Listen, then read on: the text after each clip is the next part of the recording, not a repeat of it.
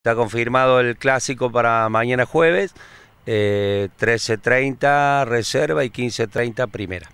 Eh, bueno, nosotros ayer fuimos a la liga, nos habían, este, nos habían citado una reunión a la noche para eh, decidir cuándo se jugaban las fechas suspendidas y este, la fecha del domingo. Bueno, nosotros con otros clubes eh, pedimos que se suspendiera la fecha del domingo este, y bueno, ahí decidir qué día se juega el clásico, si jueves domingo. Nosotros nos, inclinábamos con la gente de Belgrano, si se suspendía el, si se suspendía la fecha del domingo, pasar el clásico para el domingo y no tener que jugar jueves y, y, domingo de vuelta, ¿no?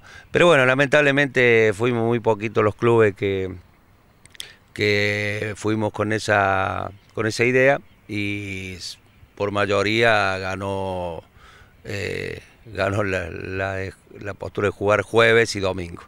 Pero bueno, hicimos, hicimos lo, imposible, pero no se pudo lamentablemente. Claro, son clubes, mm, digamos, en el Río Cuarto son la más cantidad de clubes que hay, bueno, siempre tiene mayoría. Sí, eh, ahí está el problema. Eh, los clubes de Río Cuarto. Lamentablemente todos votaron por jugar el domingo y bueno, al al no suspenderse el domingo, lamentablemente los partidos suspendidos tienen que ir el jueves. Este, un poco la idea era para no tener que jugar jueves y a, los dos días de vuelta a viajar, el día que juega Argentina, eh, pero bueno, eh, no pudimos hacer mucho nosotros. De cualquier manera, bueno, ya decidido de parte de la liga, eh, bueno, está todo listo, ustedes están trabajando para seguramente recibir a muchísima gente. Es el primer superclásico del año, Daniel. Sí, esperamos, esperamos mucha gente. Este, para eso estamos, estamos poniendo todo en condiciones, este, dándole los últimos, los últimos retoques.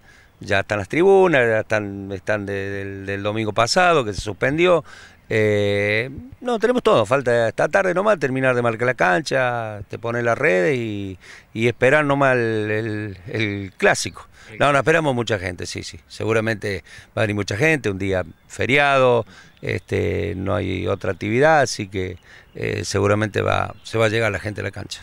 Bueno, ya que estoy, eh, bueno, contanos un poco cuál es la labor que estás haciendo en esta cancha auxiliar. Y no, estamos pasándole, pasándole el río para parejarlo un poco.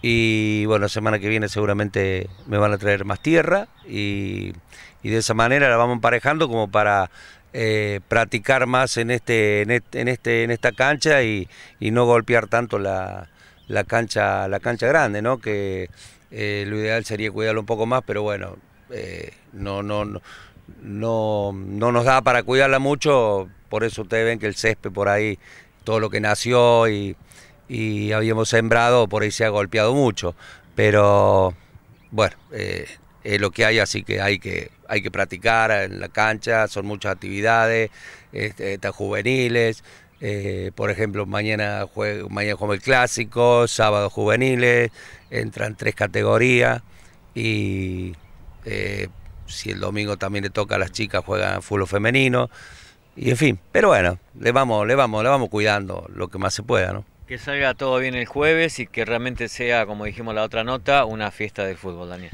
Seguramente, seguramente va a ser una fiesta del fútbol, eh, como pasa siempre en Maquena.